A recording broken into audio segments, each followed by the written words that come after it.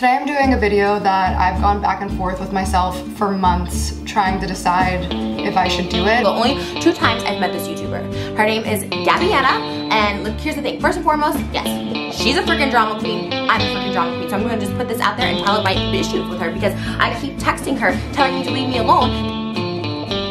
Um, wow, okay, I'm way more nervous than I thought I was gonna be. For my subscribers who have been here a while, who are so beyond patient and understanding with me when I don't post or film videos for this channel. I am so sorry that this is my first video back after like four months.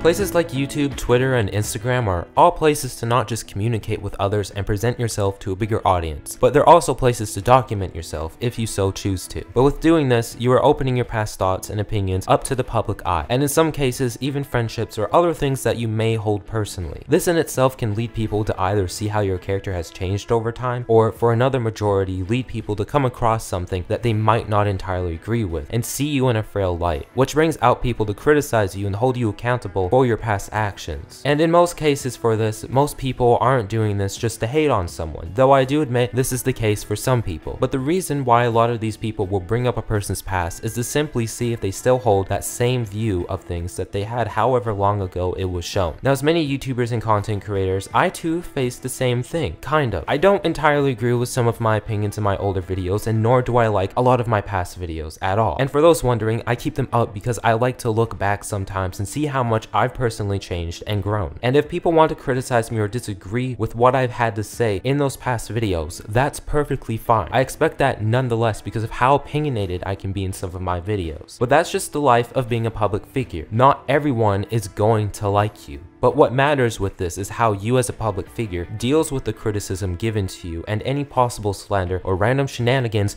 people decide to splur it out. And this is something that I'll later be going into more depth on because it relates to today's topic of discussion. So let's now talk about the person in question, Gabbie Hanna. Now, I know there's going to be a few people who don't know who she is, but for those who already know about her and her content, don't worry, there's time timestamps in the description if you want to skip past this part. But for those who don't know, Gabbie Hanna was a fairly big Vine star, and during her time on Vine, she ran a YouTube channel that later would have both audiences from Vine and YouTube combined. Her older videos consisted of storytelling, makeup tutorials, vlogs, and relationship advice. The content she was making was pretty good material at the time it was being made, and this allowed her to gain a bigger audience than what she already had. Some might even say that she was on the road to success, which in hindsight was true because currently she sits at well over 6 million subscribers, a pretty good accomplishment I must say. And even now she still has quite a bit of relevance on this platform for both good and bad reasons. Her videos now though are of much higher quality and she tends to stick with making vlogs and on occasion she'll drop a music video, though her genre of content hasn't changed too much. Now from an outside perspective, I see her doing pretty good for herself. Her videos gain a pretty decent amount of views, especially for someone who's been on this platform for as long as she has. Not a lot of people can hold relevance for the amount of time she's been on this platform, so big ups for her for that. But as nosy as I am, I started digging into her channel statistics because I'm always curious to see how my fellow content creators are doing. And luckily, there's websites like Social Blade that let me see stuff like that. And when I started looking at her subscribers, I noticed something pretty off because through the start and end of 2019 and even now, she's been losing subscribers like crazy.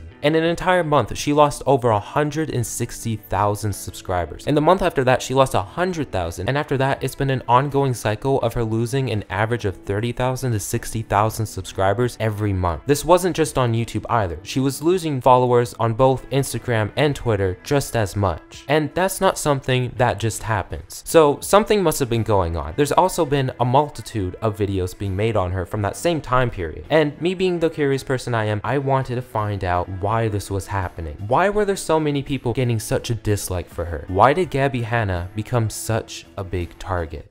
Let's find out.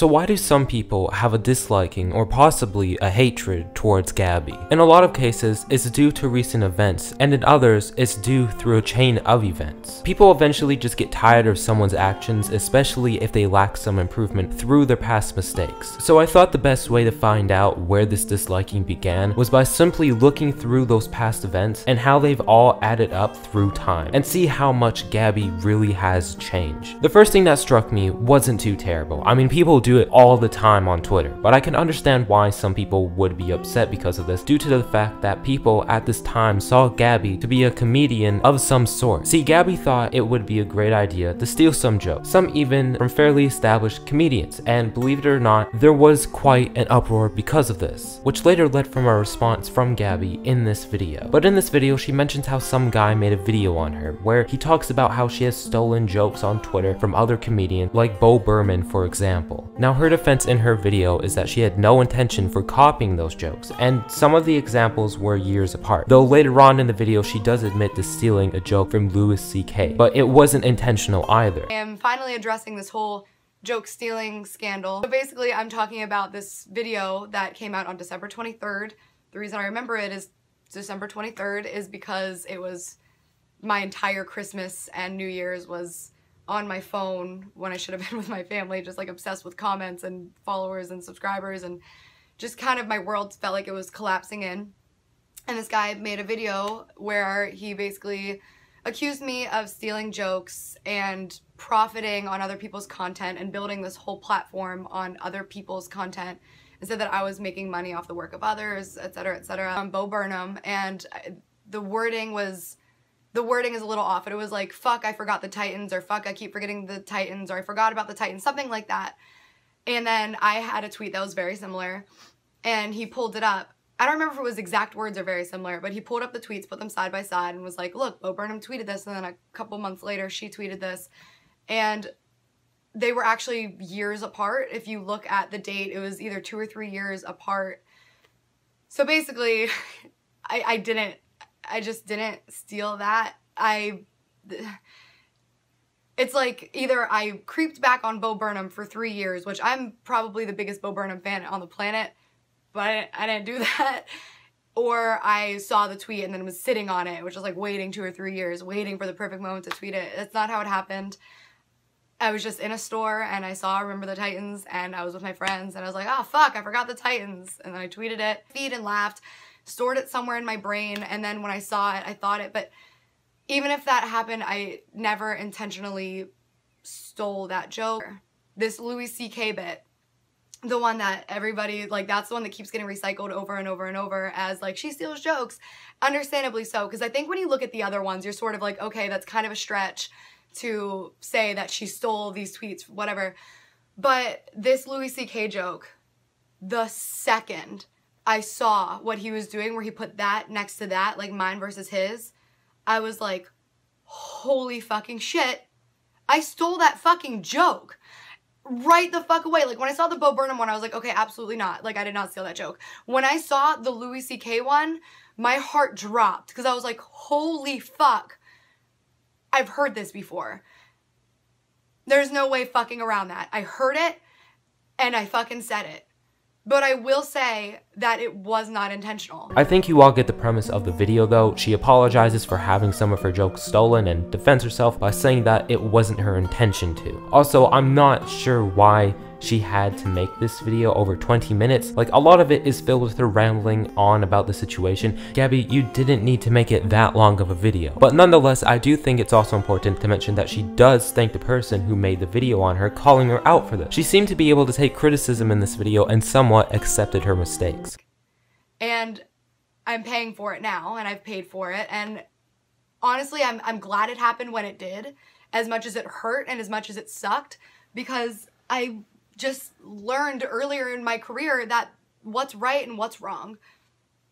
And now I can kind of pass that message along. And for everybody who was defending me saying like, oh, who cares? She stole one joke. It's not a big deal. Thank you for doing that, but it is a big deal. And even though the video that was made about me was really cruel and it seemed to come more of like a hateful place than than like a productive constructive place it happened. And it fucking happened. And I'm. I feel like there's more I want to say. And if I think of more after I end this video, then I will come back and say it awkwardly at the end. But I'm fucking sorry to anybody that I hurt. I'm sorry to anybody who felt disrespect, disrespected and dishonored. I'm sorry that it took so long for me to own up to this and talk about it. And I've learned to not be that person. And I'm very grateful that I got called out. I wish that I could have been called out in a more private, respectable manner. I wish some, you know, somebody kind of could have taken me under the wing and been like, hey, like, this isn't cool. That's my battery. Hey, this isn't cool. Like, you got to be more careful or whatever. But now I triple check everything. I like Google it in 10 different forms. I'm like, did somebody say this before? And I do my very fucking best to make sure that I'm not doing this fucking forgetting that I saw it or you know what I mean? I'm trying my fucking best. Well, that's not the case. Sorta. With a quick glance, I came across a YouTuber called Doc Reviews, and it just so happens he was the one that made the video on Gabbie. Now, he actually made two videos, which are now private, but one of them was a follow-up to the last video, which again is private, so I can't show any of you what they said, but luckily, there's the Wayback Machine, which archives things exactly like this, and to my luck, Doc wrote everything we needed to know in the description. The Gabbie Show falsifies a copyright claim in an attempt to censor me. Virtually every aspect of the complaints is erroneous. Big channels leveraging the popularity to bully smaller channels is a huge problem on YouTube. Thankfully, YouTube had the sense to declare my review fair use. I highly doubt that Gabbie will see any repercussions from this unless people start talking. So Gabbie, you say you're thankful that he made this video, but you also made an attempt to strike it down? You have an odd way of showing your love, I will say that. Now I couldn't couldn't find any proof leading to the fact that she did actually try to take down his video, but this does add some speculation showing that maybe there's more to the story we don't all know. Mind you though, she made her apology video after she got backlash for doing this. But what I find weird is that she never mentions the copyright strike in her video at all. Maybe she forgot to add it in, maybe she realized it wasn't the best idea and wanted to move on, or maybe she didn't want to give it any more attention than it already had. I'm not entirely sure, but I will say that it does strike some suspicions. Moving forward down the line though, does anyone remember Rice Gum? I do, and the reason for that is because the first time I actually ever heard about the both of them was when all the news broke out that Rice Gum had allegedly hit Gabbie and broke her phone. But honestly, if Rice Gum ever wants to like live freestyle battle, like drop a beat right now, bitch, I'll murder you. Hey Rice Gum, I just challenged you to a live battle on Snapchat. Would you do it? No. Live rap battle. Why wouldn't you do it? Let's, nah, I don't want to do Alright, so Rice doesn't have his ghostwriter today. It's fine. I think we can still battle. I think we're good. No? You don't want to do it? Okay, so update. Sorry if it looks like I'm crying. Um, Rice Gum didn't think that joke was very funny, and he hit me in the middle of a party and shattered my phone. I can show you that in a sec. I'm standing out on the balcony so that it doesn't like make. He literally like everybody's like, did he hit you? And I was like. Now this entire situation was a bit crazy to say the least. I mean most YouTubers respond to allegations like these in some serious manner, but Ricegum decided to do what he does best, and that was by making a diss track. Now before this, Ricegum did go on some news channels like Scarce and told his side. We actually have Ricegum here. Yo, what up? What up? Yeah, People so think I hit a girl, but I didn't. yeah, exactly. So he DM'd me earlier today. He's like, "Dude, I didn't do any of this. This is all fake."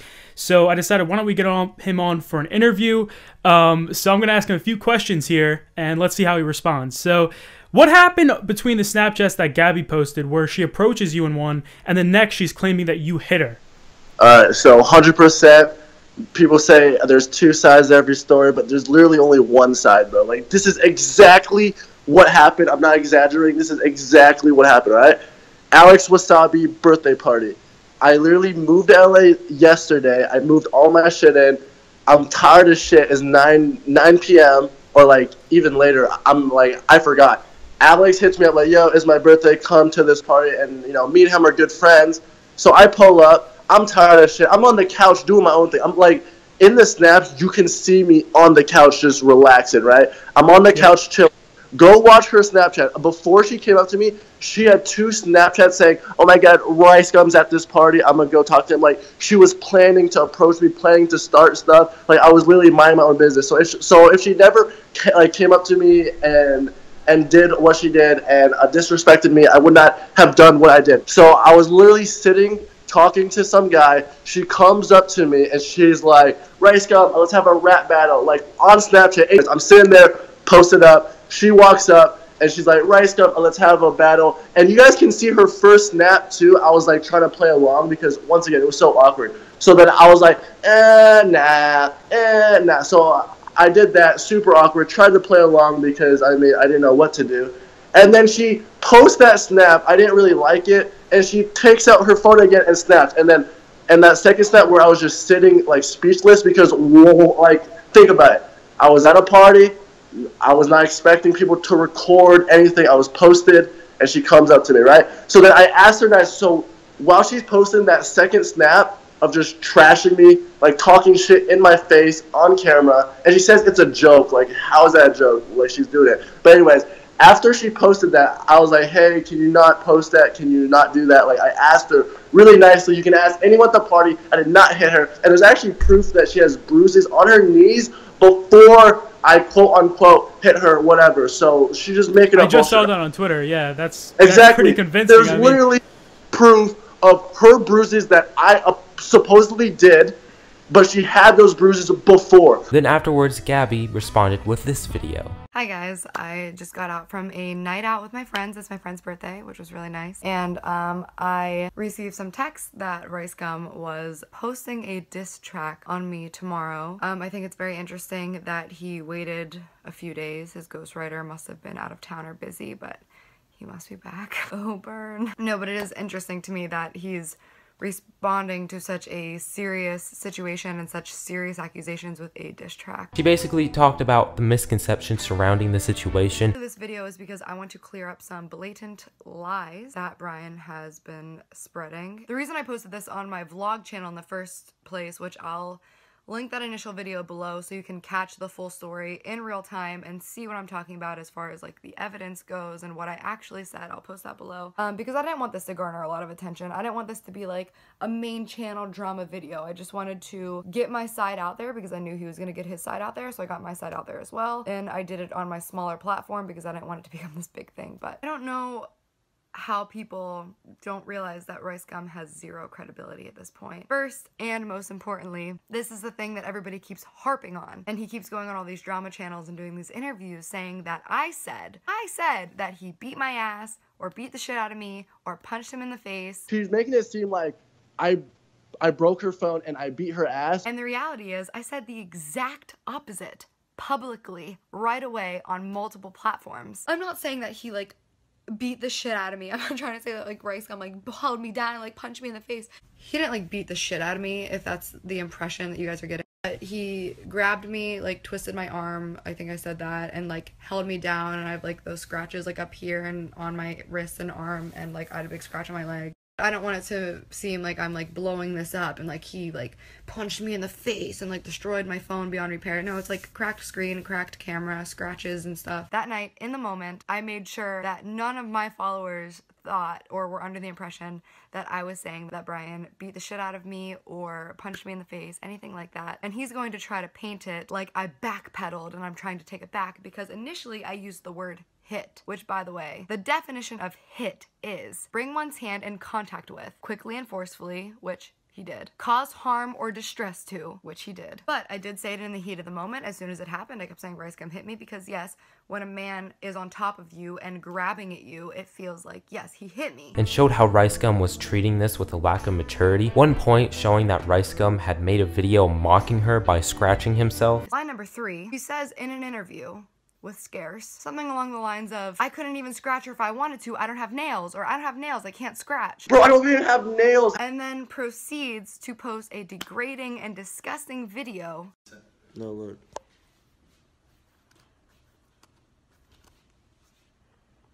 Watch. Oh my god, he hit me.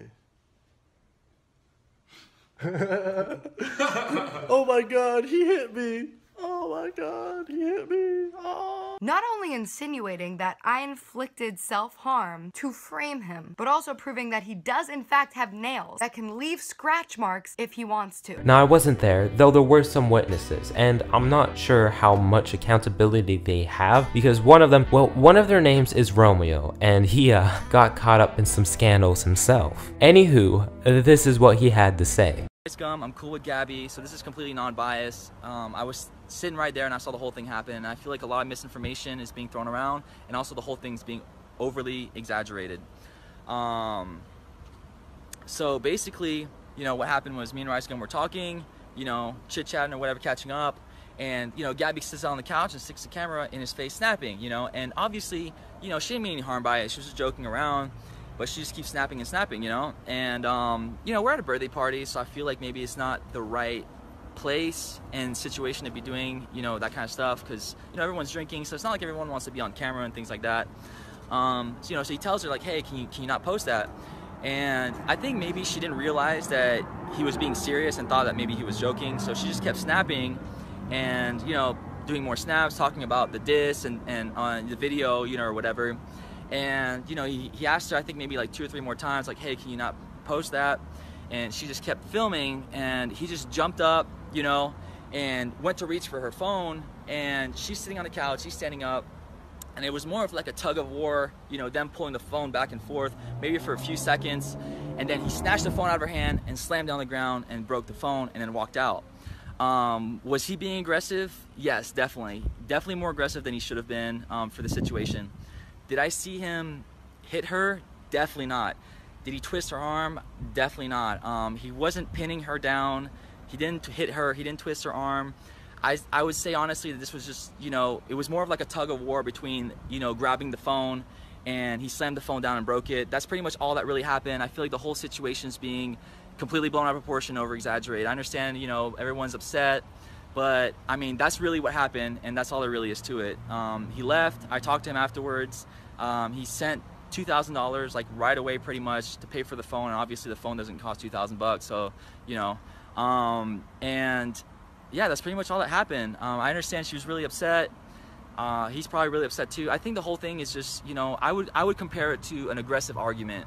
You know, I think honestly, you know, people just get an argument and a disagreement and you know it turns a little bit aggressive but no one was hit He basically states that Gabbie had kept annoying Rice Gum after him asking multiple times for her to stop recording him. Rice Gum then stood up out of anger and then they had a tug of war like match with the phone. Rice Gum then got the phone from Gabbie and smashed it on the ground. Now I'm not entirely sure how much credibility Romeo has in this situation due to his allegations but I will say that it is still important to take what he says into note. Now Rice Gum doesn't admit twisting her arm like she states or anything else she said about him, but he does admit to breaking her phone. Even doing shit. But no, so I take her phone, I grab it, throw, throw it on the floor, and run away. I will say though that Rice Gum did handle the situation immaturely. It's expected because of his past behavior, but that still doesn't excuse the way he handled it at all. Gabbie also acted pretty upset that this became an online drama and that this shouldn't have been online in the first place, which in her defense, maybe she didn't know that this situation would have been as big as she thought it would be. But she still must have understood that by putting this online, there was going to be a conversation at hand within the community. I'm not entirely sure what else she expected.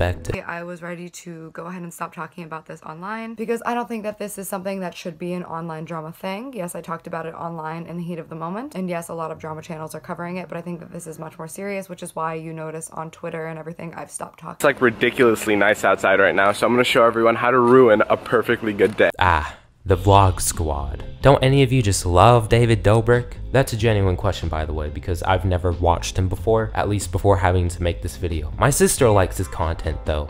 Anywho, Gabbie used to be a part of the Vlog Squad, and for her own personal reasons, she eventually left. People found this to be odd and thought there was more behind the scenes, and were curious to see if there was any drama behind her leaving. Gabbie eventually did an interview with Shane Dawson and decided to simply state that she left because she was busy and wasn't completely comfortable with them vlogging every single day. It was simply just a lifestyle she didn't want to be a part of. Gabbie also released a video titled Leave It in 2018, addressing everything I've avoided all all year. The video is now unlisted, but the premise of it all was to basically talk about all the speculation surrounding her in the past year and to move on from it. The first few minutes of the video was just her simply dyeing her hair and doing a little vlog, which was not needed for the video at all, but besides that, this video was not well received. A lot of people were pretty upset because she didn't really address much besides the fact that she has a hard time with all the hate she gets and isn't comfortable working in this industry because of so. I just, I feel like this entire year has been me seeing shit about myself and not talking about it and then just kind of like pushing it down, pushing it down, pushing it down, and then it piling on top, and it kind of fed into itself. And I'm a very anxious person, and uh, it's just been a rough year for a lot of reasons. And I don't know where to start. I saw this comment on my vlog channel recently that was like, listen, I don't mean this in any type of way, like I'm not trying to hurt your feelings, but I feel like you don't belong in this industry. Like you're too sensitive, you're too fragile, this isn't the industry for you. And I was like, damn, true? Because I, I am like an incredibly sensitive person to a huge fault. It is so easy to break my heart. My feelings get hurt really easy. It's hard for me to brush stuff off. I take stuff really personally. Something that I work on, but obviously I'm not great at yet. And she mentioned the vlog squad like she did with Shane and talked about how nothing happened and all the speculation surrounding her and them is completely wrong. She afterwards complains how she can't handle the speculation surrounding the vlog squad and was upset that people kept digging into that by trying to find out if something did happen. But I think the reason this year felt so hard to navigate and heal from was because this wasn't people commenting on a situation this time around. It wasn't just, I think this did happen, I think this didn't happen, I think she's lying in this situation, or I think she's telling the truth in this situation. It felt like people just hating me as a person all year because like nothing happened. And so the hate felt more random and poignant it became just a game of people speculating on like my life and my relationships, who I'm hanging out with, who I'm not hanging out with. And it was either I did something horrible to be removed from this group of people or I removed myself because I'm so selfish that I don't care about them and I don't want to be a part of their life. I'm talking about the vlog squad, obviously. and that's something that I've wanted to like talk about for a long time. I've started living my life in a way where it was like I can't do or say anything without immediately a list of things in my brain going, but this could go wrong, this could go wrong, this could, and everything could just go wrong. And you have these people in the industry being like, just ignore it, just ignore it. So let's just like get the vlog squad stuff out of the way. The truth is, between me and them, nothing happened. But later on in the video, I started noticing a pattern with her behavior and her mindset with all of this. She seems to really dig into everything, and I mean that in the sense she continuously tries to tackle any comment made about her. I know this because in the video, she talks about how people were tagging her in posts that included her ex-boyfriend, and were saying things like how she's desperate for his love and a variety of other things. And then little things that shouldn't matter, but like still hurt my feelings because I'm a human being. Like people tagging me in videos or pictures of my ex-boyfriend and making compilations of us together from my vlogs and people commenting on it being like, oh my god, she's so desperate and pathetic, like you can tell she's so in love with him and he would never want anything to do with her, she's flirting with him so hard, it's so cringy, he would never date her, and it's like, well, we were in a relationship for the better part of a year and that's why he was in a hundred of my vlogs where you just pulled these clips and these screenshots. So like, do you really think that you would have all of this content of him and I just hanging out together if he was so uncomfortable and I was being so cringy and awkward and making him feel weird. And that's something that doesn't even matter. It's just like an example of so many people, like tens of thousands of comments at a time being like, wow, look at her. I know that all this sounds like so incredibly just first world problem to the one millionth degree, but that's why I say like maybe I'm too sensitive for this industry. This is something I would consider small because I've gotten some really dumb comments in the past and honestly I'm used to it. And that's something you need to be comfortable with if you're going to make yourself public and want to be as big as, well, you are Gabbie. You have a massive audience and with that you also have a large number of people who will go out of their way to say rude things. You're a public figure and if you can't deal with that then you shouldn't be one. And I don't mean that in a harsh way either, but in a way that if that's how your mentality still is after all these years of being a public figure, then that's something to be worried about. It's not healthy to try and respond to every single little thing. Sometimes it's best to ignore stuff and remember that a lot of the people on the internet are crazy. Though if something big does happen, then you should respond. You need to simply divide what you should give your attention to and what you shouldn't. But all this talk about the vlog squad does remind me a little bit of Trisha Paytas, mainly because she was a member as well and believe it or not, she's the next thing to cover. So in November of last year, Trisha Paytas decided to upload a video called Why I Don't Trust Gabbie Hanna. In this video, she basically explains how Gabbie started to spam her in her DMs after one of her friends had told Gabbie that Trisha doesn't trust her. She then later goes on to explain how Gabbie had told Jason, a person Trisha was sleeping with at the time, and told him that Trisha had herpes, without ever even having this conversation with Gabbie or having asked Trisha if she had herpes in the first place. I am making this video today for one reason and one reason only is because I want this drama to stop. This person keeps thinking I am talking shit about them. I get constant texts. I've met this person on two occasions. On two occasions I met this person. One time when she asked to come to my birthday party and I said yes. I talked to her for two seconds at my birthday party. And actually I think that's the only time I ever met her. Oh, and at Joey Graceffa's Secret Santa party last year. Those were the only two times I've met this YouTuber. Her name is Gabbie Hanna, and look, here's the thing. First and foremost, yes, she's a freaking drama queen. I'm a freaking drama queen. So I'm gonna just put this out there and tell her my issues with her because I keep texting her telling me to leave me alone that I literally never think about her and she literally responded, you talk about me all the time. I don't think about her ever. And I'm so sick of her sending me pages of text being like, why do you constantly talk shit about me? Keep in mind, she texted Gabbie texted my other friend Gabby from Pennsylvania and said, hey, you just hung out with Trisha, tell me the truth. Did she talk shit about me? To which Gabby replied, yeah, she said you didn't like her. And so I was pissed at Gabby because I was like, why would you even like bring something like that up? I told you this, like, whatever. This is it. This is it for me. Like I said, no personal, nothing, nothing against her. I think we have a lot of similar issues. So like, that's cool, but this is not cool because this is one thing I don't do. This is one thing I don't do. I don't lie on people's sexual health. Okay, so she told him, okay, when me and Jason started hooking up in 2017, I did a video called like YouTubers I've hooked up with. She, by the clues, guessed that I was hooking up with Jason. I was. She texted Jason and she told Jason, or I guess, I don't know if she texted him or told him in person, but basically she told him, hey, be careful, Trish has herpes and you're sleeping with her and blah, blah, blah. Gabbie, have we slept together? Now why did Trisha make this video? You see, Gabbie had decided to go onto her Instagram and explain that an alleged close friend of Trisha's had told her that she does have herpes. And that's why she told Jason. Because she wanted to be a good friend and in her eyes, she thought it was the right move to go with. She also decided to run a few polls asking her audience if it was wrong to do. I have a genuine question that I want to ask the general public. If somebody tells you that somebody has an STD, an incurable STD. It comes from a close friend of theirs, a source, and then you find out that a friend of yours is sleeping with them. Is it wrong of you to say, hey, just so you know, I've heard this. Don't know if it's true, but this person told me. Talk to them about it, ask about it. Is that fucked up? I'm just genuinely curious. This isn't like going around telling everybody, hey, I heard this person has an STD. This is, you know, somebody you care about is sleeping with them, and you say, did they talk to you about this? Don't know if it's true. This is what I heard. Just be careful. Check it out. Here's where I'm coming from.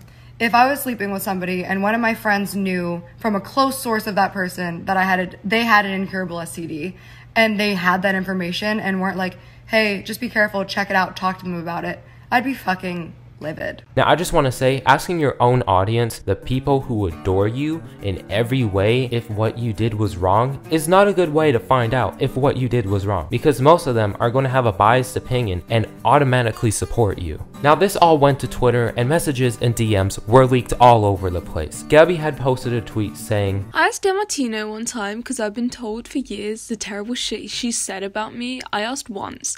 DeMartino was coerced into making scene the way Trisha wanted it to go. She's now on FaceTime right now, in pieces, apologizing to me. I love you, DeMartino. We'll love you forever. Then to this was a text message which basically shows that Gabbie wanted to know what Trisha had to say about her, and DeMartino was acting as the messenger, passing along information between the two parties. But DeMartino didn't want to be involved, but Gabbie had eventually started to text Trisha, which caused quite an uproar between the two and had the both of them eventually leaked all of this to the public. A while afterwards though, Gabbie had gone onto Twitter stating, Over the last day, multiple people have reached out to me about being terrified of her. This is why.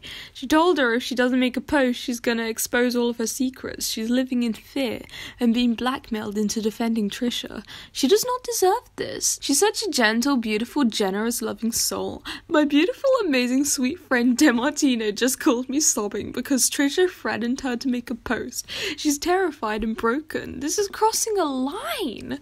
DeMartino does not deserve this. Trisha then decided to threaten Gabbie legally and sent an email saying, Gabbie Hanna has been harassing me for the past few years on social media. Tonight she crossed the line, telling the internet I am blackmailing someone. Please see her attached tweets. I have all our prior conversations saved as well, where I repeatedly ask her to leave me alone. I have made a video about this as I'm genuinely scared for my safety. And not only that, my reputation. Please, can you communicate with her or her lawyer? I can't deal with this.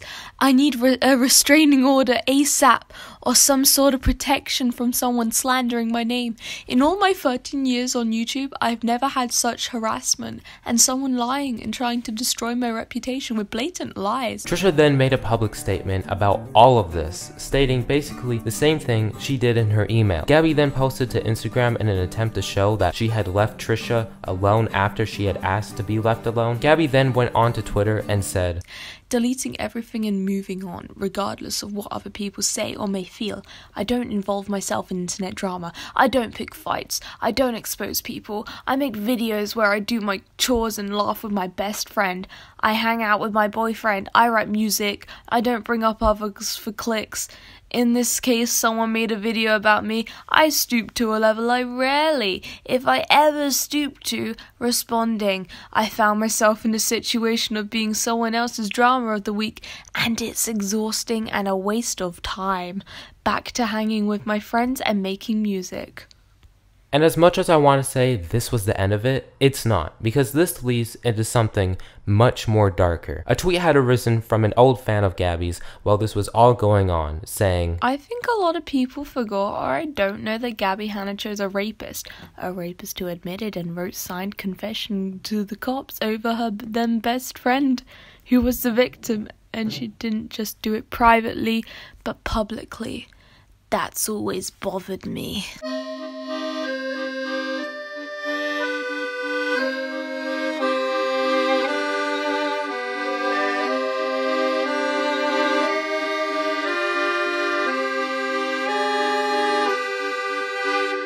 On November 16th, 2019, a YouTuber named Jessi Smiles had released a video titled Gabbie Hanna Needs to Be Stopped. Now, before I actually get into talking about her video, I need to talk about the allegations against Curtis Lepore. So in 2014, a TMZ article had come out stating Vine megastar Curtis Lepore was in court Tuesday, facing charges of raping Vine star girlfriend Jessi Smiles while she was sleeping, TMZ has learned. Law enforcement sources tell us Lepore was arrested in October and released on $100,000 bail but it flew under the radar. During Tuesday's hearing, he pleaded not guilty. Here's the backstory. We're told Jessi flew to see Curtis in LA last August, but things didn't go well and they broke up. Jessi stayed in LA and a few days later got a concussion while shooting a Vine video. Sources close to Jessi tell TMZ Curtis then called her and offered to help her while she was recovering. The victim claims Curtis came over, Jessi fell asleep, and that's when he allegedly raped her. The day after the incident, Jessi tweeted, Be careful of who you trust. Always be cautious for your safety. Be strong and don't let your guard down. It's pretty insane. Curtis and Jessi's relationship was a huge deal in the Vine world. They initially got in touch via the social media platform last summer and met in person in New York City in front of hundreds of their Vine fans. Curtis's lawyer tells TMZ things are not always as they appear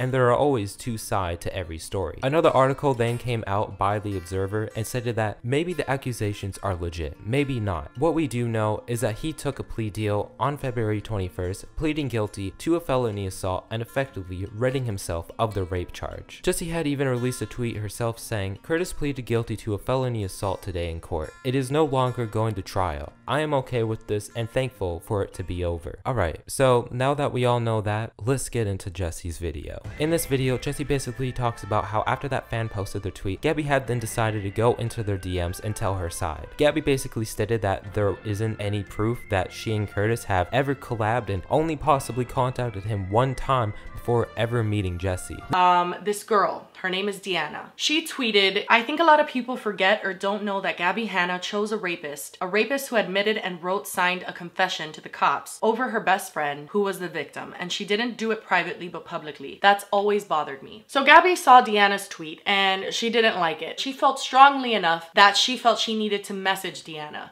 And that's why I'm here today to share those messages with you. The one that started the conversation. She says, I'm genuinely trying not to engage with this stuff because it's gossip, but this is one that truly confuses me because I don't understand why anyone believes it. If I collabed with my friend's ex, especially publicly, where is it? Where is any photo, any video? It doesn't exist because it didn't happen. That man is not my friend, has never been my friend. I think I tweeted at him one time before I ever even met Jessi and that's it. So how this story is a thing, I'll never understand, but I want to. Then out of nowhere, the conversation kind of flipped into something completely different, and rather than continuing on the original conversation or ending it, Gabbie decided to bring up Jessi and Jen Dent, which is someone I'll be talking about later. But she basically mentioned how the both of them started a hate campaign against her, and that they said that Gabbie had decided to collaborate with Curtis because he had a larger following, which Jessi then denies that she's ever said that. Then it starts. Gabbie says, here's a long story short, and she starts talking about me. Now notice how the girl was not talking about me at all. Yes, it has to do with the man who raped me and her supporting him, but Gabbie just jumps like straight into, okay, it's time to discredit Jessi. It's time to make Jessi look like a bad guy so that I can get this girl to realize that Jessi's a liar, that Jessi's crazy, and that I'm right.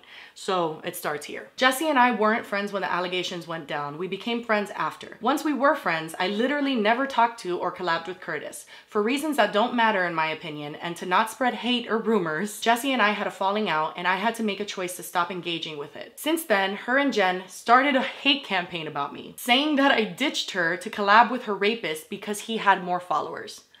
I have never said that in my life, Gabbie. I have never in my life said that you left me to collab with Curtis because he had more followers. Basically, throughout most of the video, Jessi talks about how Gabbie was spreading a false narrative about the entirety of the situation, and later on talks about how they both have made storytime videos on each other, but in Gabbie's, she would frame Jessi as a psychotic person. I'm just gonna bring this up really quick because I feel like it's a relevant thing. Gabby has and always will paint me as someone who is crazy. I am the liar. I am the attention wanter. Some of you know and some of you don't know that me and Gabbie have done story times on each other. We have not said each other's name. We've tried to cover it up by being like, you'll never guess who this person is. But point is we've done stories on each other. And I just want to compare to you the beginning of her videos and how she describes me versus the beginning of my videos about her and how I describe her. I just want to, I just want to put those two and two together so you can see what she wants people to feel about me, what she's always this is years ago that she posted. Two years ago, she posted the story time. She's always wanted people to see me like this. And I'll let you, I'll let you see. I'll let you see how we talk about each other. Here it is. I also want to say that I haven't been friends with this person for years. This happened so far in the past and I have no bad blood with this person whatsoever. I wish her nothing but the best. And from what I see, she's having a great life and she's doing her thing and she's very happy and I am very happy for her. I don't really know her anymore, but I'm sure she's grown up a ton and so have I. Now, I have admitted in the past that I myself have had some crazy bitch moments, but there is a huge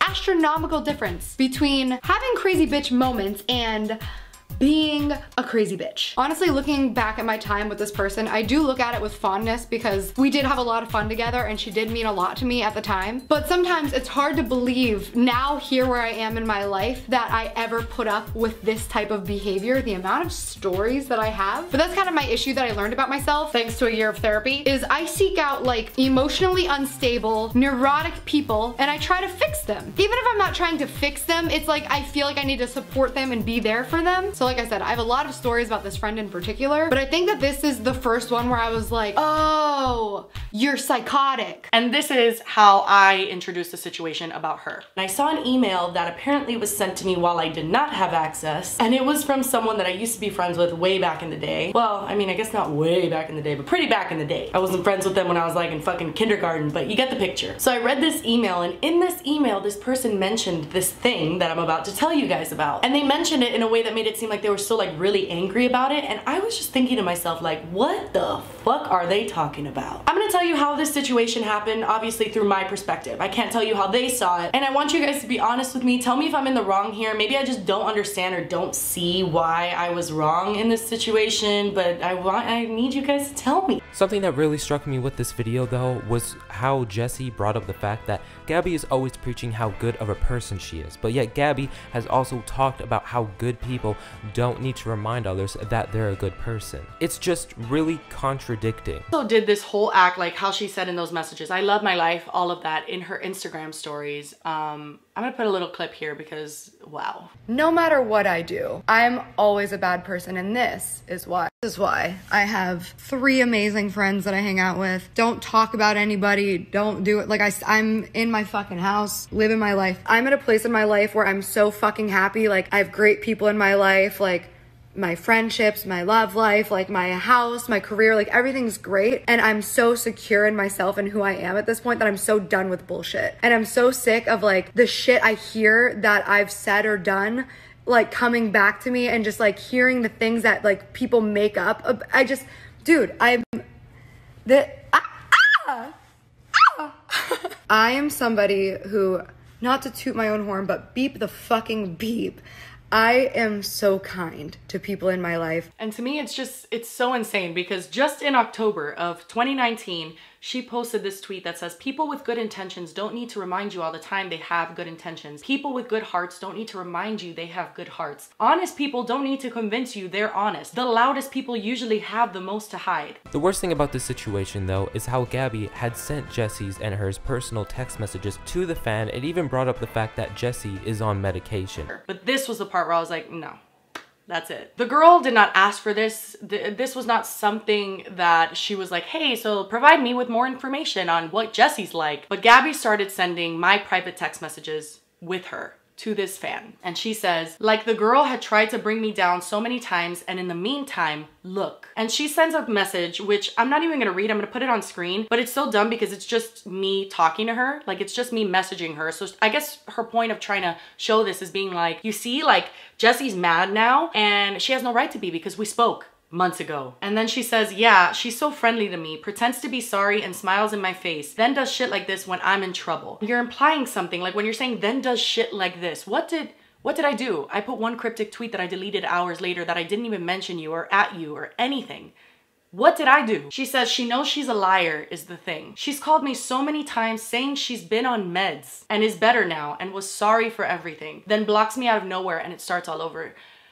This is the most disgusting shit. Like, I swear to you, I cannot believe that she said this. Number one, I have never called Gabbie Hanna and said, hi, I'm on medication. I'm so sorry for everything. I realized I was wrong. You know, you're always talking about mental health and therapy and, you know, how you've gone through your journey with that. Like, it's so weird to me that you would bring up someone else's medication that they talk to you about in private, which, no, I'm not ashamed of it. I'm not entirely sure as to why she brought up the medication, but to me, it feels like it was a way to discredit Jessi because since she has to take medication, it makes her look like that she can't think clearly which again, I'm not entirely sure, but that's just a little theory. So after this video came out, two creators had decided to make their own video revolving around this situation, one being Jen Dent and another being Alx James. Alx's video wasn't too long or much of a critical video, but it was rather spent of him speaking a little bit about his personal experience with Gabbie and some of the reasoning as to why Jessi made her video in the first place. Block. Bye! No, but you are unblocked now. Okay, I sent you the mess, I privately messaged you about your butterfly music video. Honey, I was here for it. Love it. I said, hello, butterflies. Okay? But what you're not gonna do is sit back and portray anybody who was in my life before and we're no longer hanging out, they're the bad person. And even if that person is the bad person, you can't just leave it between you and that person. You now have to go around and try to pin people against that bad person. And honey, I have heard, I have heard the trash you have talked about me over the years. I'm talking about, oh, trash. Which is fine. I know who I am. I don't care. But Gabbie, did you not think that stuff would get back to me? like, come on. Anyways, let's get into this video. In like a 24 hour whim. Like it was just like What? A, yeah, my friend at the time, uh, he, he texted me, he was like, move to LA. And I was like, yeah, like I need to figure out like my car because I had like a really shitty Buick Century. I was like, I just need to figure out a lot of stuff. And he was like, oh, whatever. And then he calls me back 30 minutes later and he goes, um, I just booked a flight to Pittsburgh. I'm gonna be there in the morning. Uh, pack your car. We're driving to LA. You're moving. So I literally just like threw as much as I could in my Buick. The air conditioning didn't work. The radio didn't work. The windows didn't roll down. And we It showed drove it, yeah. across the country in my fucking 2000 Buick Century. What? And now I'm here. This is a cool friend and story. Oh, he's actually like a really bad person though. You can't help if your brain doesn't tell you, hey, remorse, remorse. But it becomes your fault when you don't seek help. You've now plastered everybody against the wall. It's everybody else. And then you start to deface people. And then you start to privately message people to persuade their opinions about these people that you've already plastered to the wall. So when Jessi titled her video, Gabbie Hanna needs to be stopped, that is what she is talking about. The monster-like thoughts and behaviors and actions. Not Gabbie Hanna's career needs to be stopped. His video basically showed a small glimpse of Gabbie's true character. My problem is that here you are yet again talking about, oh, I wish well for my friends. If we were ever friends in the past, blah, blah, blah, blah, blah. But do you hear the things you say about people in your past? And speaking of being a bad person. When you called me that night and pretended to be my hacker and you made me admit things about myself, that voice, like how and the things that you were saying. And then you realized how effed up it was. So you called me back and you were like, oh my God, I'm so sorry. Which I let it go. I was embarrassed. You did that in front of my friends were there. Uh, my ex-boyfriend was there. I had it on speakerphone because I literally thought that the person who had hacked me before, like you had said, was watching me this entire time. So you are incredibly rude, but I don't think you're you realize how rude you are. Like when you came into my house, my friends, you guys know I always had my friends staying with me. When you come into my house and you say in front of them to me, "What are you running an orphanage?" Imagine Brittany Furlan came over to my house when you were staying on my couch, and Brittany goes, "Alx, wh- what are you running an orphanage?" How would you have felt? Okay, because that's how they felt. Now, Jen Dent is, well, okay, she's, okay, well, this intro of hers really says it all.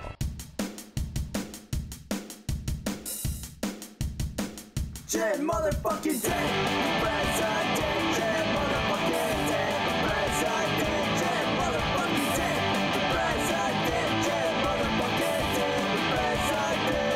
She's Jen Mother fucking Dent. And quite a character, to say the least. Something that I've noticed with Jen though, is her almost like obsession with Gabbie, and some contradictions as well. If you go onto her Twitter, the majority of things that you'll see are tweets about Gabbie. It's a little scary, not gonna lie. Now, our gal Jen got into some drama where she posted a clip of one of Gabbie's vines, and to be honest, this vine seems a little racist. I love running through black neighborhoods with my shirt off. I'm gonna steal all of your baby daddies. But there's more context to it, and whether or not if you think it's still racist even after I tell you the context, that's still perfectly understandable. But I at least think it's only fair for all of you to have a full understanding as to why Gabbie made this vine in the first place. You see, Gabbie's vine was a parody of this vine. I like running through white people neighborhoods with my shirt off. I'm gonna steal all your stuff. Now again, if you still think her making that vine was wrong, that's a totally understandable opinion. But what caused an uproar with people is that after Jen had posted this vine, Jen decided to post a few tweets basically stating that Gabbie was bringing up her old vines that were just as questionable, and even stated that type of behavior doesn't really phase her, and it doesn't matter. But Jen, you did the same to Gabbie, and now you're saying that type of stuff doesn't matter? That's a bit of a contradiction. Now to be fair, Jen has deleted the vine of Gabbie and gave the context of her own vines as well, and realized what she did wasn't the best idea. Now Jen had also released a video about Gabbie after Jessi uploaded hers, titled Dear Gabbie Hanna. In it, she basically talks about her side of the situation and how poorly Gabbie had treated her. I was a small viner, okay? I know that everybody thinks I was like this person on Vine, but I was a small viner. I was, I didn't have that many followers, you know, compared to people like Gabbie, Jessi, Alx. But I became friends with Jessi and Alx. And for some reason, Gabbie, you, you just didn't like that. And I'm not really sure what your problem was with me. I remember um, that I used to watch Alx on YouNow and he would like talk to me when he would see me in there. And I remember one day you were in his YouNow and you said something like, is that Jen Dent? And I just remember the look on your face and I was like, I don't even know who that is. I mean, I knew your name. Other than that, I didn't know who you were. Shortly after that, um, you would start showing up on my vines under a profile called What's Eating Gabby Grape. I don't know if you remember that, but you used to come on to my vines and just leave shitty comments, calling me all sorts of, you know, you're, you're a bully, you're this, that, the other thing. But for some reason, you just, like if you have millions of followers on Vine, why are you coming to my Vine and telling me what a shitty fucking person I am? Just like all the time. It was like nonstop. You'll never admit that. You'll also never admit that you made troll accounts and came and said things to me during the time that Jessi and I were not speaking to each other. And then, while I was doing my interview with you about Vine and how Vine had helped you in your life and what opportunities you had gotten from Vine, you took that as an opportunity while I was on camera to start telling me what a shitty fucking person I am. You went on and on and Jessi and Alx and Trish and all these people are right when they say that you talk in circles. You go round and round and round and that's why people are now addressing you on the internet because I'm not going to give I'm not going to give you the opportunity to talk me around in circles. Alx is not going to give you that opportunity. You sent me that shitty fucking text on Christmas Eve morning when mind you, I got sick when I was in LA. Pretty sure I had pneumonia. Was never diagnosed with pneumonia, but I did go to the doctor while I was there, and I was very sick.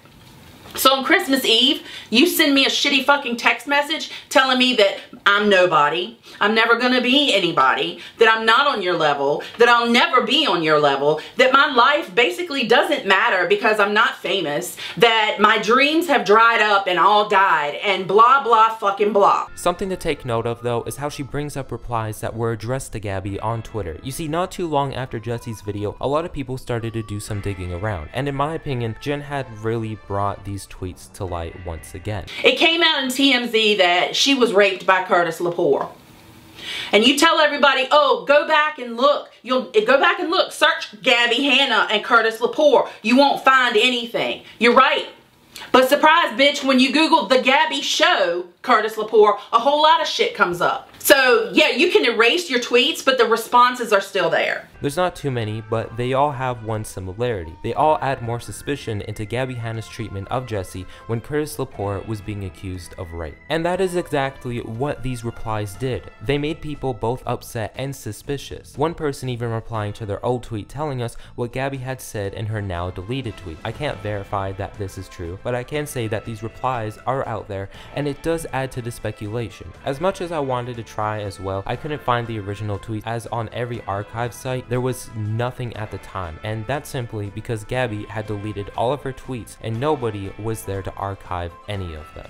Gabbie had made a response video to these claims months afterwards in a video. She starts the video off by saying that she doesn't want to set a situation like this as a norm where people expose each other over personal and private experiences. She also states that she didn't apologize to Jessi privately and had only done it publicly. So a couple days ago, Jessi Smiles posted a video. It was a Q&A and in the thumbnail, she put the question, did Gabbie ever apologize after the video? In that video, she says that she called me out publicly so she wouldn't expect a conversation privately. And this is me paraphrasing, so feel free to please go check out the video yourself. But basically she says that she put out the video because she wanted to set the example of how she should be treated and to defend herself. And while I do believe that it's important to stand up for yourself and defend yourself, I don't agree that personal matters and interpersonal conflicts should be made public or dealt with publicly. We're reaching a point in our world that frankly scares me. It feels like every day somebody new is canceled and it's becoming the norm to expose each other instead of to try to communicate or understand one another. I personally don't feel that making videos about people that you have a problem with is the example that we should be setting as the norm. So I want to start this by answering the question that was asked, which was, did Gabbie apologize after the video? And the answer is outside of the public apology and statement that I put out, no, I did not reach out to Jessi. I didn't feel like I was meant to apologize to Jessi or that she was looking for an apology because I had already apologized to Jessi many times in many different conversations over the years. Later in the video, she also talks about how she has never collabed with Curtis and has never defended him and has never been associated with him, at least after the allegations. Personally about it. So not that much later that night is when I started getting a bunch of tweets about how I ditched my best friend to collab with her rapist how I'm a social climber, and basically that I chose my best friend's rapist over her. This is a rumor that started five years ago that obviously Jessi and I had had plenty of conversations since. We had squashed a lot of our beef. We've discussed it at length, and I thought that we were moving on as friends, or at least friendly. And I need to take a break right here to just say I have never collabed with Jessi's rapist. And then afterwards, she talks about the tweets that were mentioned in Jen's video. I've never ever publicly defended Jessi's rapist. I have one tweet to him before the TMZ story ever broke. That was four months, I believe, before the TMZ story broke. Nobody outside of their circle knew what was going on, especially not me in New Castle, Pennsylvania, completely detached from the Vine world. I would never in a million years choose him over her, and I would never and have never defended him. In fact, one time I was at an event, an influencer event, and he happened to be there and he tried to take a Snapchat selfie with me, and I told him to delete it right now because I did not want to be associated with him. I have zero association with Curtis Lepore. Really quick, last night I got in bed and I really just scoured trying to find any stone that I left unturned that might show something that I would have to further explain. I just want to get everything in here and I found a couple tweets that I do want to address. So these are the tweets that I've already posted and it says he was arrested in October of 2013. I tweeted this in September of 2013 and December of 2013, but the TMZ article was not published until January 16th, 2014. And nobody in the Vine community, as Alx James actually confirms in his video, knew about this. It wasn't public knowledge. We all found out about it when this article came out. This one as well is from December 10th, 2013. Again, this is before the story ever broke, so I had no idea at this point. This one is saying that I revined a revine with Curtis in it. For those of you who remember Vine, you might remember when people would revine for revine. It used to piss everybody off, but basically we would just text a group of friends and be like, hey, let's trade. I'll revine yours, you revine mine. And a lot of times we would just send each other links and just revine it. You were supposed to revine it as soon as it went up. So if you're doing something, if you're at work, if you're on the phone, if something's going on, you literally just click revine. So in that situation, somebody asked me to revine something. I revined it. It had Curtis Lepore in it. I unrevined it immediately and I flipped out at that person. So that's why I revined a vine with Curtis in it. It wasn't Curtis's vine. He was in somebody else's who I did revine for revine with. This one says, so she's just brokenhearted, not raped. Moronic with comments like that. This one I actually do remember. This was the day the story broke and I hadn't seen the article yet. Whatever he tweeted, I genuinely have no idea what his tweet was, but I remember I responded with a current Vine meme, which was a Big Sean Lil Wayne song, Beware, Beware, Beware of a Woman with a Broken Heart. So that was a Vine meme. For those of you who were on Vine at the time, you remember it. I don't remember what he said. Obviously, it had nothing to do with the rape case. So that was that day before I ever saw it. The tweet is deleted because I was like, oh shit, I didn't understand the context of anything about this and that's why it's gone. Because I didn't stand by what it said once I understood the context of everything that was happening. This wasn't my tweet. This actually goes hand in hand with this. She then addresses the conversation with the fan and shares her perspective of what went down. Questioning myself, like, did I collab with this person and I completely blocked it from my memory? That's how much it was affecting me at this point that I started to second guess myself. So out of the handful of tweets that I was getting that night, I chose somebody who I thought was older. Obviously, I was wrong. She had tweeted at me something along the lines of, I'm really hurt. I used to love you and support you. And then I found out that you ditched your best friend for her rapist to collab with him. Basically, you're a disgusting human being. I don't feel comfortable showing the majority of our DMs on screen because I know now that she is a minor and it doesn't feel appropriate, but all of the DMs are available online if you want to go find them. So the conversation started by me asking her, I'm genuinely trying not to engage with this stuff because it's gossip, but this is one that really confuses me because I don't understand why anyone believes it. If I collabed with my friend's ex, especially publicly, where is it? Where is any photo, any video? It doesn't exist because it didn't happen. That man is not my friend, has never been my friend. So how this story is a thing, I'll never understand, but I want to. So this is me paraphrasing the conversation as to not involve her any more than she already is. But basically she said that there were tweets that I defended him when the allegations dropped. I said, can you please send me the tweets? And she said, I can't find them. She sent me a video of a girl twerking next to him with long brown hair and she said, this is why people believe it because you did this video. Do you care to explain this? And I said, that's not me. I sent her the link to the actual video where it's clearly not me and she says, are you fucking kidding me? And at this point she's saying, you need to get your story out there. Like this is crazy because I'm Googling it. You're right. There's no tweets, there's no videos, there's no pictures. And I basically said, I can't fight every lie that comes my way and I also don't want to feed it or give it attention because it's just not true. And I basically just said I was publicly best friends with her. She was in a public lawsuit with him. If I publicly defended him, don't you think it'd be somewhere? A story would have covered it back then. There'd be a screenshot, there'd be something. And she basically said to me, I, I can't believe that I believe this. And I have to be honest, it just felt good for somebody to, to believe me. Like this is something that I've literally never responded to for five years. You can find these tweets for five years. I have no excuse for having a conversation with this fan other than I was hurt, I was angry, I was stressed about everything else going on, and I just wanted to let off steam. And obviously now I wish I could take it back. I've apologized to publicly. I've apologized to Jessi publicly for these DMs and it's humiliating. After this, she had started to talk about the situation regarding Trisha and DeMartino as well, and even talks about her side of things when telling Jason that Trisha might have herpes.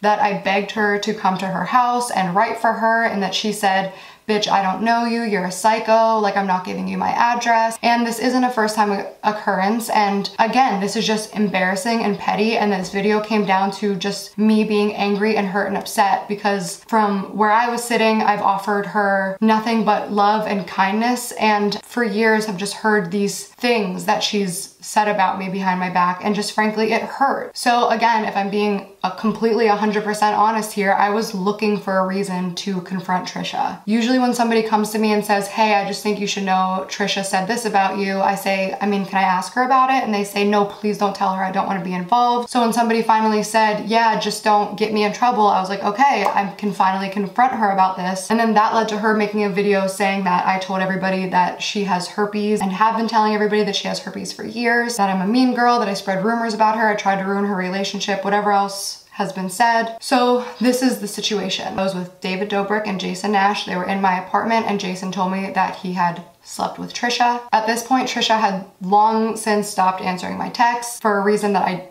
didn't know because we didn't talk about it. And I didn't feel like we had a relationship where I should or could text her about this situation and ask her about it. It didn't seem any type of appropriate to text a girl who doesn't want to talk to you, hey, just so you know, I heard you have herpes and you slept with my friend. It just, I, I just don't know how that conversation would go, I guess. So when Jason told me as a friend sitting on my bed in my apartment, I felt the need to say something. And I never said that Trisha has herpes and now Jason Nash has herpes. What I said was I was told by a close friend of hers, and I don't know why he would have a reason to lie to me, that she has herpes. I don't know if it's true. Get checked if you're concerned about it, but have the conversation with her. What I've always told Jason, and if he wants to, he can back this up. David was there, he can back it up. I said, have the conversation with Trisha if you're concerned. I never said that she had herpes or that he had herpes. I never tried to get in the way of any type of relationship. I told him something that I would want to know myself as a friend if somebody knew something and told him to ask her about it directly. She also apologizes and says that her original response to Trisha was petty. I'm heartbroken that it did make her sad. But once again, this is a situation that her and I had already hashed out. We had had the conversation. She showed it in her own video where she told me why she was upset with me. I responded. And after that, we've had pleasant conversations and it just hurt. So that's why I responded the way I did. Is it petty?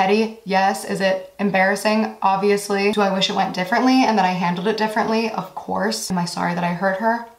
Definitely. She then talks about her side of how things went down with Alx James. So for the sake of just getting everything out there, I want to quickly talk about the Alx James situation. The situation started when all of the other drama was happening and somebody pulled a clip from a podcast where I tell a story about the kid I drove across the country with and the interviewer asked me, are you still friends? And I said, no, it turns out he was actually a really bad person. When I saw this clip, I immediately felt bad about it. I should have known that anybody listening could make the connection. There was a YouTube video on my channel where I tell the story with Alx of us driving across the country. And that is why I reached out to Alx immediately because I wanted to personally apologize to Alx for saying that publicly. He ignored my call. I texted him. He said that he didn't want to talk because he was sleeping and I didn't hear from him again. A couple days later, he put out a video. In his second video that he put out about me, he said that he was just waiting for an apology. But the reason I did not apologize to Alx is because I let him know that if he wanted to talk about it to reach out and he did not reach out. He just wanted to make a video about it. The reason I called Alx a bad person is ironically for something that he said I did to him. He did a video saying that a few years back I did a prank call video with Zayn that I never posted because Zayn and I did a vlog saying we took it too far, we're not gonna post this, and I never uploaded the video. Alx was laughing his ass off. Don't know, Gabbie has recently been going on a tangent claiming that her channel is shadow banned and YouTube is only promoting videos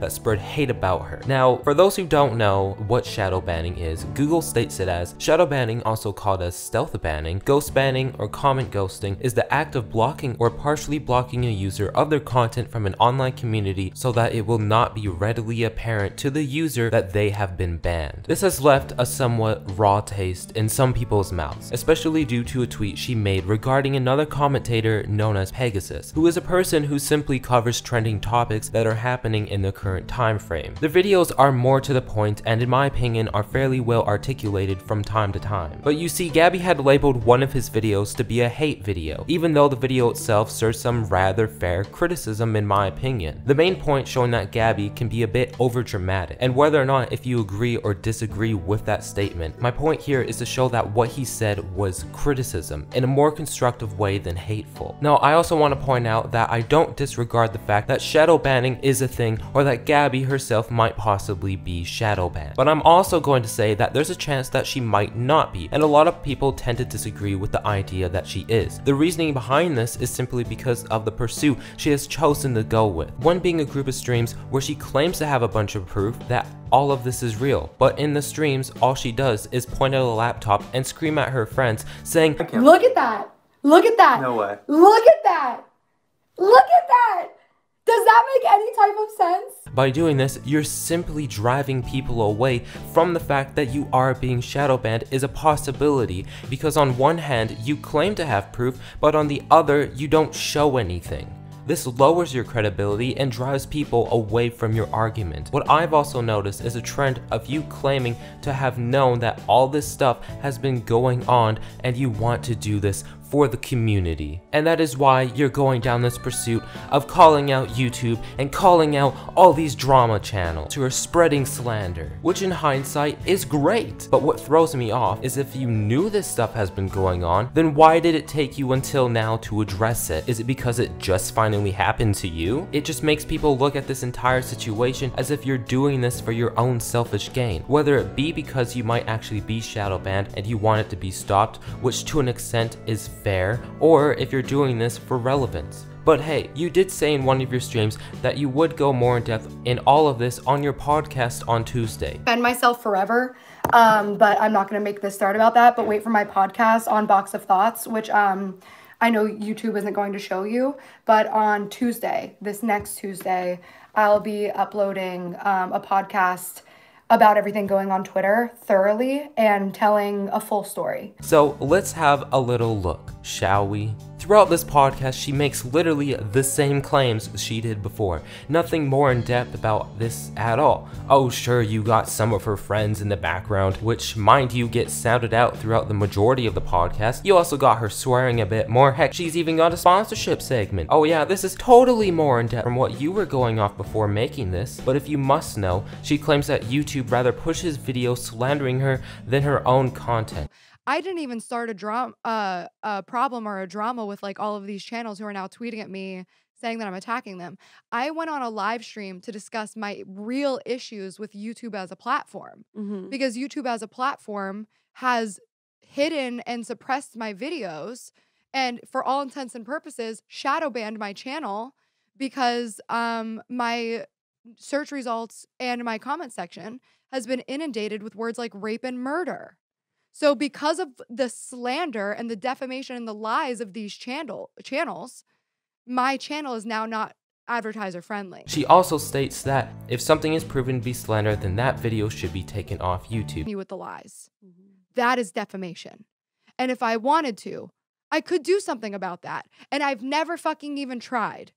All I want, not even trying to take up a, a problem with drama channels, is for YouTube to stop delivering the hateful content, to flag the hateful content when it is proven to be false accusations, lies, and defamation. And while I agree with that, if something is entirely proven to be slanderous, then yes, that video should be taken down. But in some cases, it would also be hard for YouTube to determine if a video is filled with slander or not. Because the thing with your situation surrounding Jessi Smiles and Trisha Paytas is that a lot of the things being said surround their own perspective of things and experience with you, which lands in an area that YouTube couldn't really decide as a company on whether or not if what's being said is completely true or not. And with that being said as well, you claiming that drama and cheat channels are also helping the spread of rumors, you need to also realize in most cases they're just simply showing what's there and giving their take on the situation. Even with that, I mean taking it off YouTube is one thing, but you still have other platforms like Twitter and Instagram, where Twitter itself tends to be a bigger place surrounding slander, and things tend to spread much faster there. My point here is that as a person, Gabbie, you will never be able to escape the possibility of falling victim to slanderous rumors because of how well known you are. You're a public figure who has recently done some fairly questionable things, which leads people to take advantage of situations like that. I'm not justifying slander, it's wrong, and it does ruin people's lives, but it's something that you'll have to eventually balance out within your life and determine if some things need to be addressed or if some things being spread are just petty rumors. This whole situation could have been handled better. If you've watched a drama channel spreading misleading information about you, simply make a video showing proof against it rather than screaming on Twitter that people are sharing false information on behalf of your name. Because otherwise, what you're doing comes off as attention grabbing. The rest of the podcast is honestly just a repeat of everything she's been saying on Twitter. This entire thing was pointless and a waste of time. But hey, at least it's now the most viewed episode on her podcast channel. Let that sink in for a while. Just just think about it. Not making any claims though, just want you all to think about stuff because thinking is great. But throughout her treatment of sharing a lack of information surrounding her shadow band, one of her reasonings for this all was all the hate videos made on her, which caused quite the conversation to be at hand in the community and made people question if her response to these videos was the right move. And I think I know just the twat to talk about this. Thank you, Zio. So, I guess I have to finally talk about Gabbie Hanna, someone whose presence has mostly eluded my attention. That didn't stop her from tagging me in one of her videos where she makes a heartfelt apology. I always found that a bit of a strange gesture, but I'm glad she knows I exist at least. However, the impression that I had received from the few passing glances I'd given her in the past was that she had a tendency to be pretty hot blooded at times, and I think that nature was broadcast throughout the situation that we're discussing today. Now, my good friend Austin has likely looked at the topics and provided his own insight. I trust he has at least. If he hasn't, Tell him off or something. However, it's one thing to say whether someone's right or wrong and provide justifications. It's another to actually delve into a person's actions and ask why they feel that way or they behave that way. As aforementioned, Gabbie Hanna is not known for her phlegmatism, but at the same time, she's not known for losing her patience with the community and has regularly praised many commentators who she enjoys. So, what motivated this outburst? Well, I think to understand that, you need to look at the greater environmental circumstances, in particular, the notion that she was being shadow banned. Now, I'm someone who feels more skeptically inclined towards Gabbie's claim on this front, but even with this in mind, the way she communicates her emotion feels quite legitimate. This is my career. This is my life. This is people from my hometown seeing lies and rumors spread about me. This is my relationships being ruined. This is YouTubers and my friends from this space will not answer my fucking text messages because they're afraid of being swept into the drama. This is me being uninvited to birthday parties and Christmas parties. This is my friends unfollowing me on social media because they believe a, a false narrative. This is my fucking life. This is personal to me. So, with this in mind, I'd say there are two theories that can explain this fiasco. The first one we'll call the frustration theory. What does this entail? Well, fired up and developing the theory in her head that she had been shadow banned, Gabbie sought to find more evidence to support her case. In this instance, that evidence was the search results for what you would see when you enter her name in the YouTube search bar. When doing this, Gabbie was met with a large number of videos, but many of them not from her, from other creators in fact, some presenting her in a rather unfavorable light. She clearly saw this as the suppression of her content in the algorithm, while simultaneously seeing it as a promotion of content that may be antagonistic towards her. Gabbie is enraged that the first impressions people have of her are not from herself or from her own content, but from third parties denying her control of her own image. In this rage, she sees it reasonable to frame these videos in a harsher light than one might typically do because of the influence they have. Now, as Zio noted, Gabbie provides no actual excerpts or evidence of these videos being slanderous. Does this mean that all of them are completely inoffensive? No, but it does provide the impression that she didn't actually watch them, as content creators like this typically vary vastly in their tone, and throwing an umbrella over them isn't typically the right way to deliver such narratives. But Gabbie was just upset that she was having her voice taken away from her, right? Well, let's talk about the more cynical theory. We'll call this one the manipulation theory. Many people argued against this idea that Gabbie was being censored on YouTube, citing the fact that she had been on trending very shortly before her meltdown and pointing out the absence of motive for YouTube to shadow ban such an audience friendly creator, particularly given some of the other public figures they platform. Many felt that Gabbie must have been aware of how YouTube works and must have known that the appearance of other videos in search results is merely an outcome yielded by algorithmic preferences. Therefore, this theory would state that she was feigning outrage to force YouTube to offer her preferential treatment. Now, typically one would avoid this theory as we like to provide benefit of the doubt to people's intent, and when someone appears in a vulnerable state, the possible repercussions for a false positive are much worse than those for a false negative. However, some felt that elements of her story felt too calculated to be spontaneous, such as the so-called proof that she continuously proclaimed to be in possession of yet never revealed, despite reading alleged DMs from reputable sources. Watch this.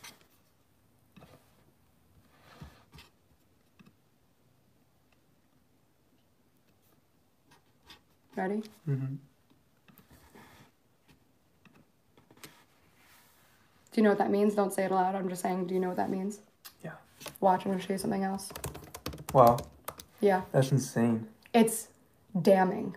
This led some to think that the outrage was a bit more organized than it appeared, and directed at channels critical of her with the narrative that she was being shadow banned conjured up as a PR stunt to boost publicity and suppress her critics. After all, it appeared to work. Plenty of people made more videos, and she claims she received direct correspondence from YouTube as well, which is much more than most people will ever receive. With situations like this, however, it's hard to know exactly what goes on inside a person's head. It might be one explanation, it might be another, it may be a bit of both, it may be neither. In circumstances like this, I can understand why frustration may arise. In many ways, Gabbie's reaction felt instinctive, regardless of whether it was well founded or not. But on the other hand, there are just certain details which feel out of place and make people's skepticism understandable. Commentators play an important role in providing outsider insight into creators and the influence they hold. And although misinformation should be called out when observed, turning your wrath on them for the mere virtue of not being on your side is myopic and will typically only lead to more videos. Maybe that's what Gabbie wanted. Maybe it's not. Austin didn't pay me enough to say anything more, so I'll just leave it there. See ya, bitches. Alrighty, well, this has been quite the interesting topic to cover. I will not deny that. But my biggest criticism for Gabbie in this video is how she responds whenever criticism is dished to her, and how she almost responds to everything that is given to her, whether it be small or big. It is not healthy to respond to every single thing that is said about you, and in the grand scheme of things, I feel that is why she had caused quite the outburst in the way she did, because it all finally got to her and all broke loose. I do hold some sympathy for Gabbie in these remarks because at the end of the day, like all of us, she is human. I feel her emotional responses were genuine to some extent. And of course, that doesn't diminish the fact that there is a good handful of criticism, which is all fair. A lot of people being skeptical of her recent actions, thinking her intentions are more cynical than good, have every right to think that way, as I'm a bit skeptical myself as noted much earlier on in the video. But I do feel it is also important to point out that a lot of this might have just been an impulse reaction due to a decline in her mental health, which a lot of you twats online claim to care about, but will publicly jump on a bandwagon and will meme about her poor emotionality while she's in a vulnerable state. I do think that Gabbie will come back from this though, and hopefully she will have a much better mindset from this, and the next time anything comes her way, she won't let her emotions get the best of her. Alright, well, I, I think that's really just the end of it. I'm gonna go sleep for another year or whatever now because life is just insufferable. But quickly, I'd also like to thank my good friends Raspberry, Sleepios, and Tro. Raspberry took the time out of the day to help me out, do some research, and even helped take some notes. She's on my Discord server, she's lovely. If you have the chance to talk to her, go let her know that she's lovely and you, you know, she's appreciated. And Sleepios, for those who don't know, was the drunk person reading the tweets. Big thanks to them. Still waiting for them to upload another video. If you think my upload schedule is bad, then you should honestly take a look at hers. And of course, you know, the biggest person here, Tro, he took the time out of his life to be part of this, so please go give him some love. And finally, Last but not least, I'd also like to say a big thanks to my Patreons. This video is probably going to be either copyrighted or demonetized. I, I don't really care nonetheless, I guess, but but the people who help me on Patreon, you know, you help me pay my bills. What what else could I say? You guys make my life much more easier, which allows me to spend more time on videos like this. So thank you. I, I appreciate it a lot. You guys are and are the heart and soul of this channel. Alrighty, now uh bye. I, I don't know what else to say. Um subscribe. Like if you like the video. I, I don't know. Just bye.